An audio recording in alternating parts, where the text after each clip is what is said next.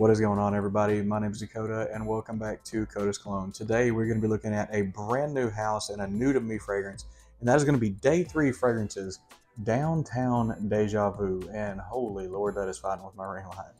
Let's get into it.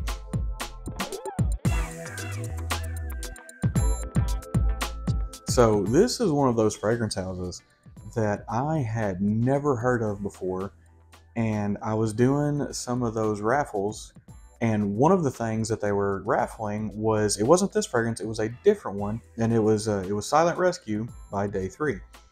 And that, of course, I'd never heard that brand before. I'd never heard of anything like that before.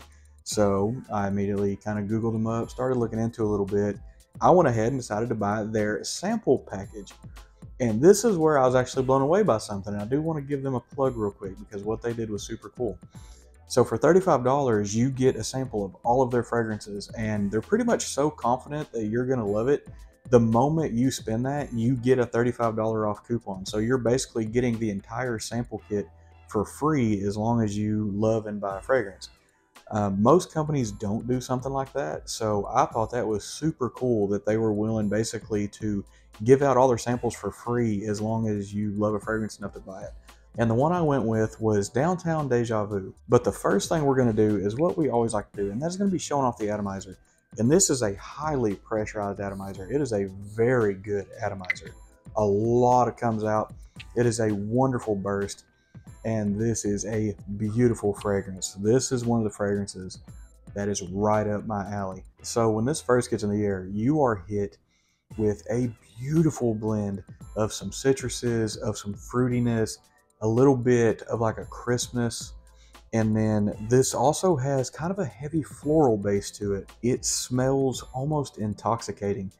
Uh, I did not think I was going to like this fragrance as much as I did. It, I like it more so now than I did when I sampled it. But what I'm going to do now is I'm going to go ahead and put little strap there on skin. I really didn't need to do that. I just, I really like this fragrance. I'm going to.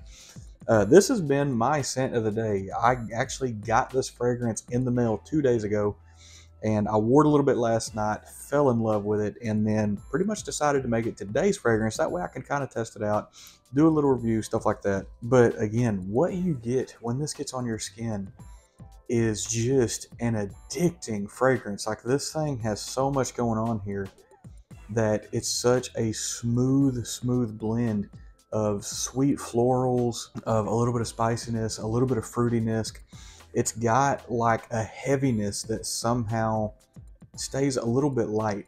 Like it's a very heavy fragrance, but when it hits your nostrils, when it kind of hits your senses, it doesn't hit it hard. It's it's very light on the opening by, while being a heavy fragrance. And I always love it when fragrances do stuff like that but at the same time, it's a little dangerous because that can lead to overspraying very easily. But the makeup of this fragrance is exactly what I love in most fragrances. So we're going to get into the notes of this. The top notes on this is going to be red fruits, apple, and citrus. And some of the red fruits, you do get a lot of that. This is very fruity. It is kind of sweet. Some of the apple can give it a little bit of a crispness, not a whole lot. It's more so of like a citrusy, light citrusy, but very fruity, sweet kind of fragrance on the opening. The middle notes on this are going to be rose, iris, and cinnamon. And you immediately get some of that rose as soon as you spray it. It kind of gives it a little bit of that deep floral background. The iris and the cinnamon kind of play with you just a little bit. The cinnamon doesn't really come through until more of a complete dry down. And the base notes on this is going to be linen, suede, amber, and musk. And they did put kind of, I guess you could call it a fantasy note. That's going to be cotton candy. And to me, that cotton candy note is kind of what gives it such of that not overwhelming sweetness. It's got a really deep, rich sweetness that's almost a little bit sugary. And I'm assuming that the cotton candy is exactly where it comes from. Some of the suede and the linens mixing this can give it a little bit of like a light touch of leather. And then, of course, you got the amber and the musk. The musk helps it keep a little light, and the amber kind of warms it up a little bit. But this fragrance isn't this fragrance is incredibly inviting, but I don't get like the biggest warm vibes out of this. Now, this is like a cozy, maybe even a little bit florally gourmand style fragrance, but I don't know that I would describe this as a warm fragrance. But as this gets drowned down a little bit, we're gonna go over the price, performance, and availability. I'm pretty sure you can only get this from Day 3 Fragrance right now. And as far as the price goes, the I think they have the 10 mils for 28 or 32, somewhere in that range. And then the 50 mils, because that's what this is, this is a 50 mil. The 50 mils on these are 135 or you can buy the sample kit. They will give you a $35 off coupon and you get their entire sample kit plus your fragrance 400 bucks. And again, I absolutely loved that. That's not really something you see any companies do. And for them to stand behind their product so well enough to say, hey, you're gonna love one of these so much, we're gonna give you this coupon off that way. It's a win-win. They get to sell some stuff, their name gets out there, and you get a discounted fragrance. Really can't go wrong there. Now, as far as performance goes, I'm gonna be a little bit hard pressed to give this a full performance review but like I said, I've worn this all day. I'm probably somewhere in that seven to eight spray range.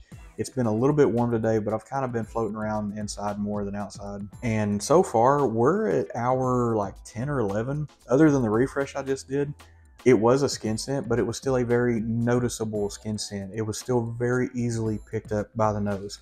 So longevity wise, I'm willing to bet this is gonna be somewhere in that eight to 10 hour on most skins. As far as sillage go, the sillage on this is pretty good because right after I put this on, I did have to do a little bit of running around in town and I did notice a pretty good sillage trail coming from this because there were several times I would kind of circle back around and I would kind of get hit with it myself. So I'm willing to bet the sillage in this is going to be somewhere in that two to three foot range. Now projection may be where this fragrance lacks just a little bit because this fragrance I've noticed does set a little close to the skin. It really wants to float more up than out.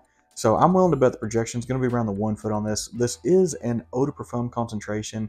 And a lot of times when you do get into the eau de parfum and the parfum concentrations, that's kind of to be expected. So one of the things that I thought was super cool about this fragrance specifically was kind of the approach that they went with the fragrance.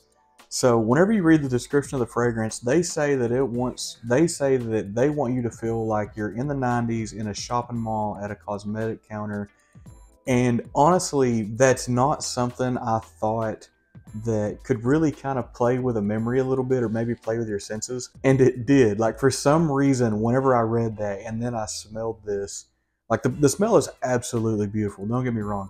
But it was kind of funny because it made me laugh about, I kind of got a little bit of that vibe from that and I don't know if it was maybe maybe it was the pre-notion thought that once I read it, I kind of manifested it a little bit. I just couldn't help but kind of laugh a little bit because it was almost like having an unlocked memory of me being a little kid running around the mall, running around Dillard's or something with my mom, and it just kind of pushed that out a little bit. And it, of course, it just made me laugh. The, the description that they went on this with some of the fantasy accords and stuff like that rock solid and very good. So the way they were even able to present this as a whole was super cool. I really appreciated that.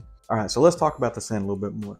So as this gets all the way dried down, a lot of what you get into the deep dry down is this isn't a very woody fragrance. I don't know that there's any real wood notes anywhere in this. I would imagine if there is, it would just be a tiny little touch. But what you get dominantly out of this fragrance, an incredibly sweet, floral with little hints of that spicy iris somewhere floating around the back between the cinnamon and the iris. And then, like I said, between the linen and the suede, the way they kind of blend in, they give off a little bit of a leather vibe. The blend done on this is absolutely incredible because I'm not really someone who likes leathery style of fragrances or anything like that.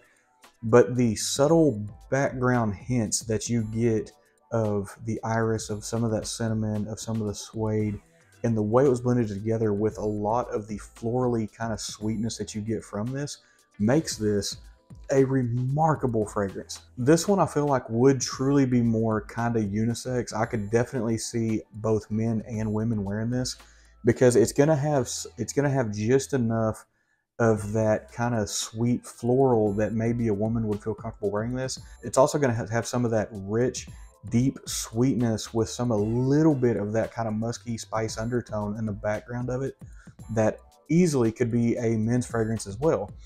So this is going to be one of those that I'll be curious to see if my wife doesn't reach for this once or twice. I know this is definitely going to be an absolutely easy reach for me during this fall and the winter because to me when I've got this funny enough is kind of where I'm going to start pushing to wear a fragrance like this because I don't know that it has maybe quite enough backbone to call it like a true winter fragrance. I feel like this is going to be more of like a fall into winter like maybe a little more of a transitional type of fragrance. So if I had to give this fragrance a rating right now, I would easily give this a 10 out of 10. I don't think there is a single thing I could change about this. I don't even mind the kind of close projection on the skin, only because for the longevity, for the sillage, for everything else I've been able to get out of this, it's more than a fair trade off. So to get an incredibly natural fragrance and a company that's willing to give that essentially for a $100 bill that is absolutely awesome. I want to say this company is kind of basing their scents off like the Dominican Republic. They have a couple of fragrances that I was really interested in, but this was the one that kind of just grabbed my attention and held on to it.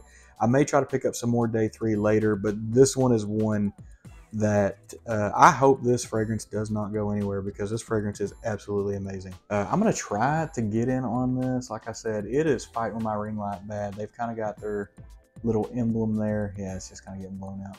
One thing that I thought was super cool though, because if you look through the back of this, they have a little bit of art pushed through the back of the label. And like I said, I don't think the ring light is going to be able to pick it up, but just the the fine details that went into this, I feel like was absolutely awesome. That doesn't have like a snap cap or magnetic cap. It's kind of a pressure cap, so it, it holds itself on the cap and one other thing I want to touch on real quick is actually the presentation. I know some people don't really care about the presentation, but this is one of the few occasions where I will. So you're going to have your outer box. It's going to pull out into a little coffinette.